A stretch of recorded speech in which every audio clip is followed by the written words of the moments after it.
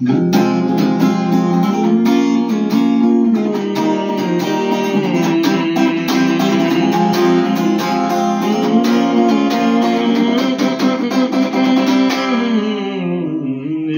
en sliten rock en liten pojke stod Han var nog inte mer än ett två par utslitna skor. Pojken hette Erik och i huset där han bor Där leker det från taket och där sover man i samma säng som bror.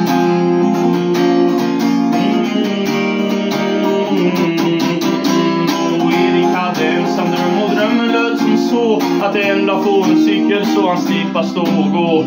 Och Erik fyllde tio men drömmen stannade kvar. Men det han inte visste var att inget utan pengar blir bra.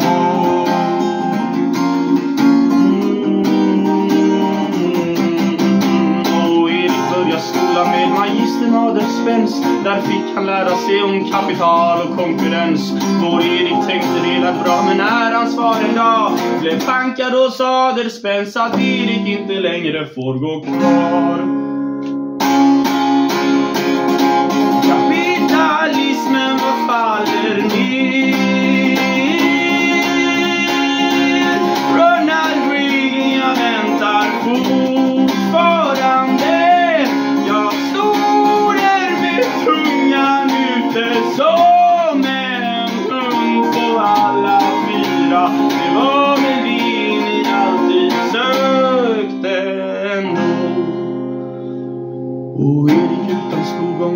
Tiden en ung man. Han började söka jobb och snart så kom det fram att systemet som han lever i det ansåg män som han inte dög till bättre än att bryta ryggen in i gravens famn.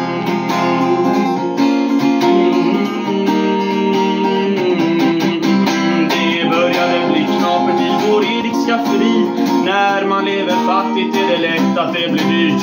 Han fylldes utav vrede för livets förräderi. I köket föll en tår, han frågade Gud, kommer jag någonsin vara fri?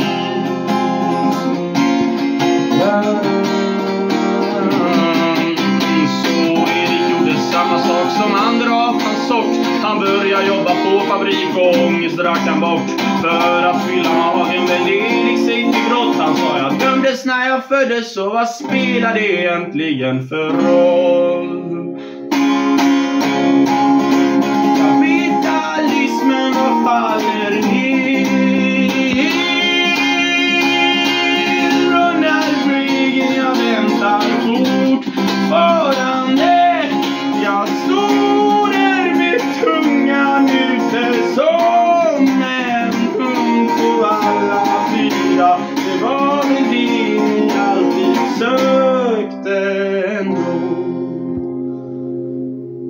Så en kväll när Erik hemåt gick så började han att ana något som fångade hans blick. Han kisade med ögat men visst fan såg han rätt.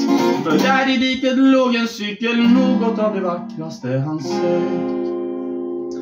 Han satte sig på sadeln och han började trampa på Fortare och fortare med vinden i hans hår Men där om. Så det sa stopp för cykeln men ju inte för vår arma Eriks kropp.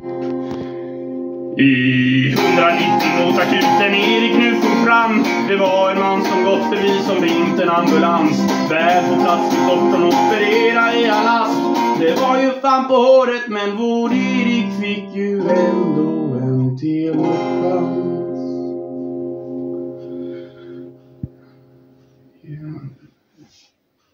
En vecka gick där ut på sin sjukhussäng Ljuset i hans själ hängde på en sjösträng. Och så en dag kom doktorn in och sa nu får du gå. Men i hans kalla hand där höll han i ett brev. Erik tittar upp med vädjan i sin blick. En summa så hög, det trodde han ej gick. Doktorn tog en, han stirrade på doktorn och sa det och sa detta kan inte vara rätt.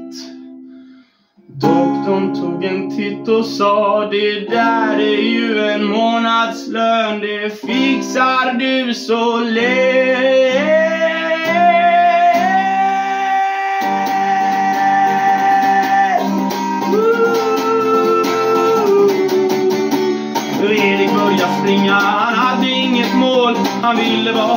Bort, han ville börja om. Han sprang så långt han kunde, han sprang sönder sina skor. Men till slut sa benen nej och plötsligt stod han på en bro. Det svarta vattnet under honom och blänkt i månens sken. Han tänkte på sin barndom så oskyldig och ren. En tår föll ner hans kind när han klev upp på räckets ben. Vår Erik fick till slut sin cykel. Men